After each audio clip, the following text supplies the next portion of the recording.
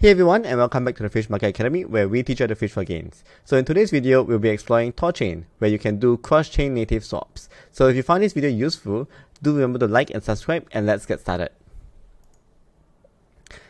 So as always, nothing I say is financial advice. So I'm going to do a quick demonstration now. Okay. Alright, so the first thing you need to do is to actually have a XDeFi wallet. I'll put the link in the description below to download it. And you want to scroll down to BNB over here. So I'm assuming you buy your Rune on either FTX or Binance. They both have Rune. And you need to go into your BNB and find your BNB address. So click on receive and you will see your BNB address here.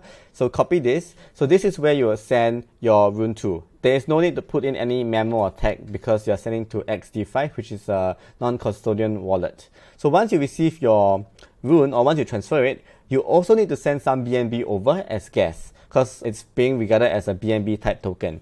So once you have a little bit of gas, right, you can go to THORSwap and uh, just a note that on the XDeFi wallet, you will not see your rune appear. So I actually have rune, but it's not appearing here.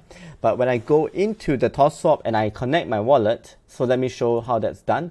So I'm going to disconnect and connect my wallet, and I'm going to connect XDeFi. And then after that, they will ask me to select chain. I'm just going to select rune and BNB, and I'm going to connect.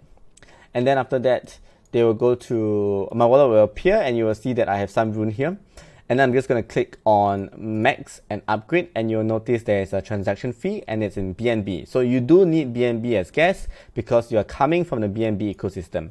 So I'm just going to go ahead and click on upgrade and it's going to take just a short while. I just need to sign this message. So in just a few seconds, it actually finished upgrading and now I actually check my wallet again and you'll see that I have Rune over here. This is still showing the old value, so I think there's a bit of a lag. Let me just refresh.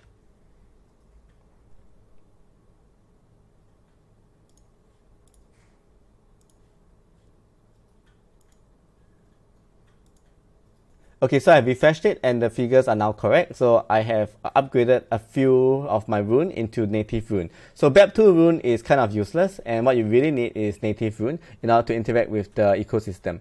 So let's take a look at and see how it is to actually do some swaps. So let's say I have BNB and I want to provide some liquidity for the BNB rune. So I'm going to click on liquidity for BNB And then afterwards, BNB rune will appear. And then I'm going to click on max for native. And because I'm on BNB plus Rune, I'm capped to the amount of BNB I have, which is really not a lot. But if I go with Rune, then you will see that I can actually go with a much higher amount. So I don't want to do BNB and Rune. I'm going to swap it out to something a bit of a higher APY. Let's go with BTC. So I'm going to click in and then I'm going to wait for it to appear and then go to Rune and then I'll add a bit of my Rune and then you'll see that my fee is actually in Rune. But if I go to BTC, you'll see that my fee is in BTC. So it's quite interesting how it works. This is because when I'm depositing Rune, it's an inbound transaction. So my Rune is being sent to the THORChain and therefore I need to pay Rune fees. So I'm just going to go ahead and add some fees just to see how this whole thing works.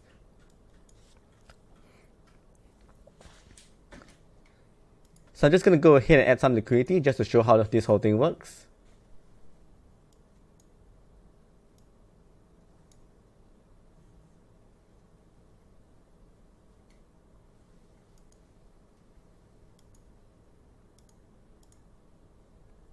Okay, so in a few seconds, I've added some Rune liquidity and you can actually see my liquidity inside here. You, you'll see that I actually do have some of this rune LP but because I deposited rune only when I withdraw I'm only going to be able to withdraw rune only. So that's something to take note.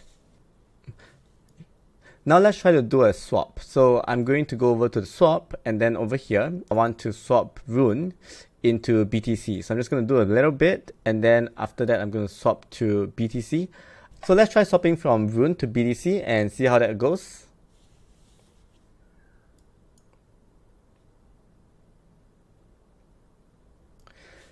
So note that I don't have any BTC and they do say that there is some network fee in BTC that is required and let's see if this goes through. So now I'm doing a swap from Rune into BTC, and over here you see the transaction fee is in Rune, and although there's a network fee in BTC, uh, I don't think uh, I'll be paying any BTC because I have no BTC.